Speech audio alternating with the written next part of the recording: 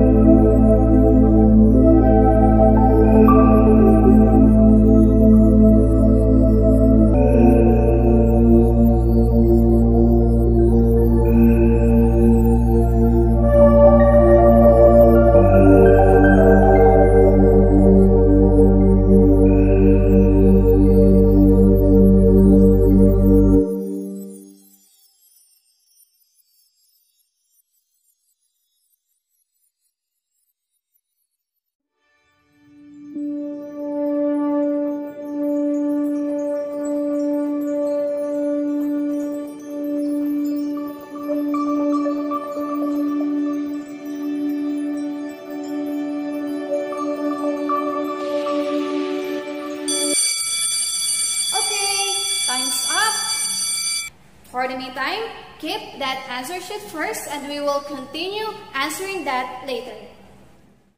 Let's proceed to our topic for today, the occupational health and safety. Okay class, let's read all together the definition of it. In 3, 2, 1. Occupational health and safety, or the OHS. It is a multidisciplinary field of healthcare concerned with enabling an individual to undertake their occupation in a way that causes least harm to their health. And aside from that, OHS is a planned system of working to prevent illness and injury when you work by identifying hazards and risks. Hazards, risks, what are those? So let's start with the definition of a hazard. Hazard. It is an agent which has the potential to cause harm. For example, there is an oil spill on the floor. It is a hazard because it has a potential to cause harm when someone slips on it. While a risk, it is the chance or probability that you may be harmed when exposed to a hazard. An example I have given recently, which is the oil spill on the floor, someone is on risk when they are exposed on it. To understand it better, hazard is a thing that has a potential to cause harm, while risk is what possibly happen when you are exposed to a hazard. Or in Tagalog, Si hazard yung dahilan kung bakit pwede kang masaktan. Si hazard yung dahilan kung bakit pwede kang masaktan. At si risk naman, ito yung mangyayari sa'yo kapag andyan si hazard. To sum it up, hazard poses no risk if there is no exposure to that hazard. Hazards and risks is not new. Actually, it is present everywhere. We may not totally eliminate it 100%, but good news, we can prevent it by simply following the three steps in risk assessment. So what are those three steps? First, identifying hazards and risks. Second, evaluating hazards and risks. And then the last one, controlling hazards and risks. Let's start with identifying hazards and risks. Identifying hazards and risks. It means looking for those things at your workplace that have potential to cause harm. Next, evaluating hazards and risks. It is the process of determining the level of risk created by the hazard and the likelihood or injury or illness occurring. Person evaluating the hazards should consider the following questions. Will that hazard can really cause harm? How serious that harm is likely to be? How often people may expose? How many people may be exposed? And lastly, controlling hazards and risks. Where the assessment reveals a problem, preventive measures must be designed and implemented. At this point, I'll be showing you a simple scenario wherein the three steps in risk assessment are applied. So, let's watch it! One day, when Juan is taking a rest under the tree, he suddenly remembered the lesson taught by his TLE teacher about the three steps in risk assessment. He went to their kitchen immediately to look for a thing that may cause harm. He saw a pail of water spills on the floor. He then started to think what may happen if someone exposed on it. He evaluated that hazard and a lot of risky things that might happen comes to his mind. He don't want to happen it. That's why he starts finding a way to control that hazard.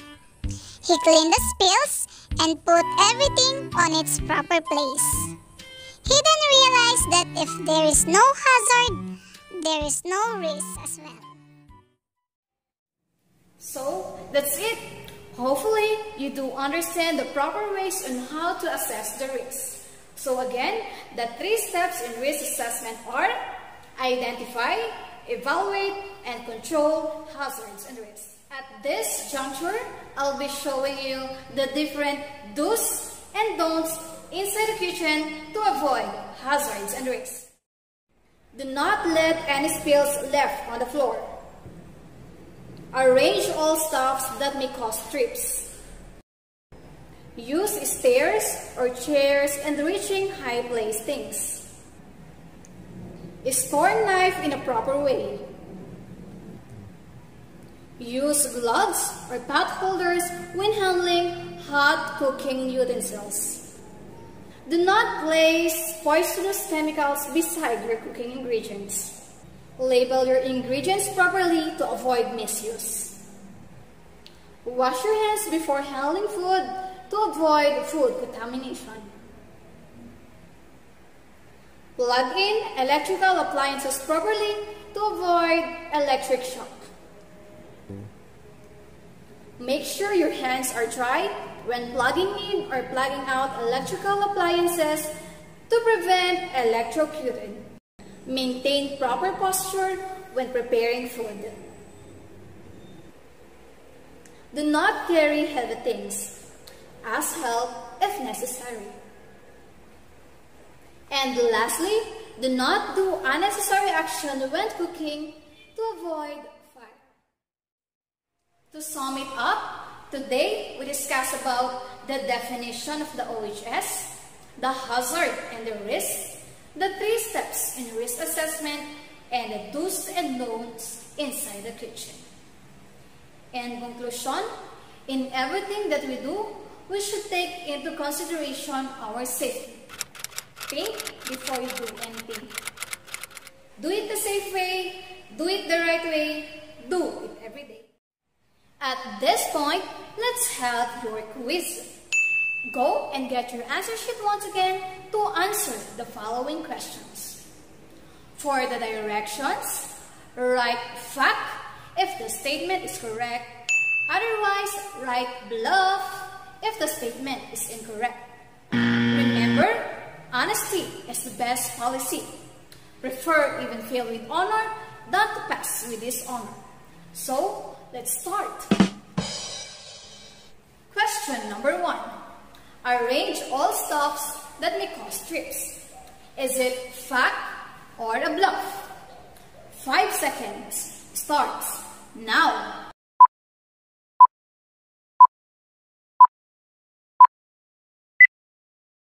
Time's up. The correct answer is fact. Question number two. Do not use stairs or chairs when reaching high placed things. Again, do not use chairs or stairs in reaching high placed things. Is it a fact or a bluff? Five seconds starts now.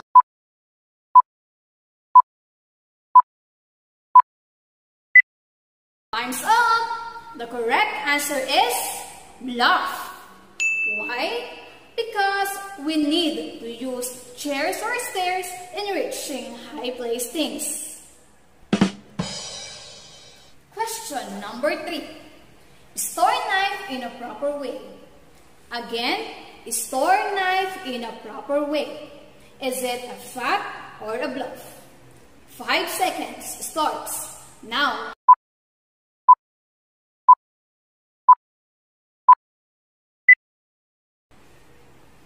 Time's up. The correct answer is fact.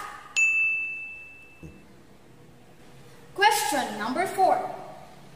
Make sure your hands are wet in plugging in or plugging out electrical appliances.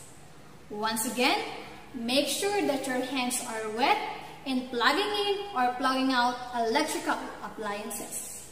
Is it a fact or a bluff? Five seconds starts now.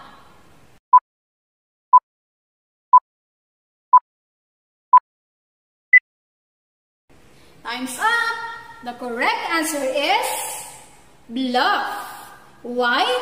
Because it should be dry hands in plugging in or plugging out electrical appliances. Last question. Maintain proper posture in preparing food. So once again, the last question is, maintain proper posture in preparing food. Is it a fact or a bluff? Five seconds starts now.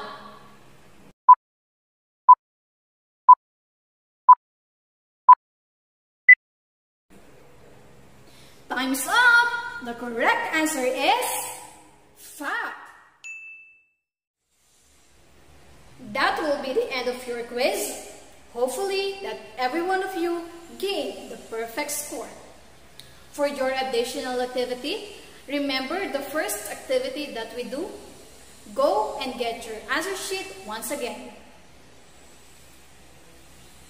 From your encircled objects that may cause harm in a kitchen, state the best thing to do on how to solve it. Write at least three for 5 points each. Example.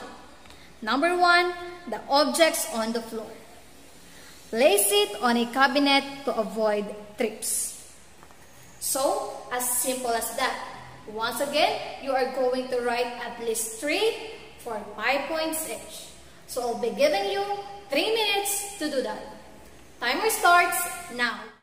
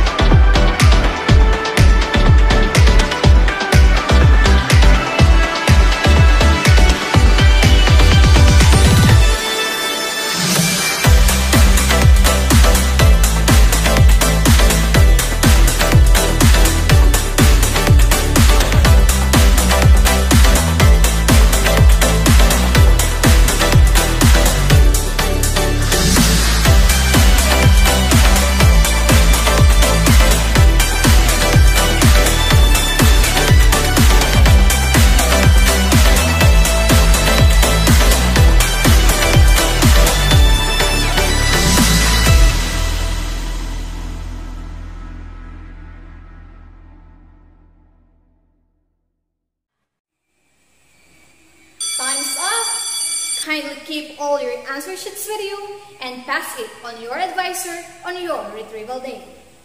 This will be the end of my discussion. I hope you learned something. Before I end, I want to say that safety begins with you. Thank you so much. Once again, I am Miss Marianie R. Vargas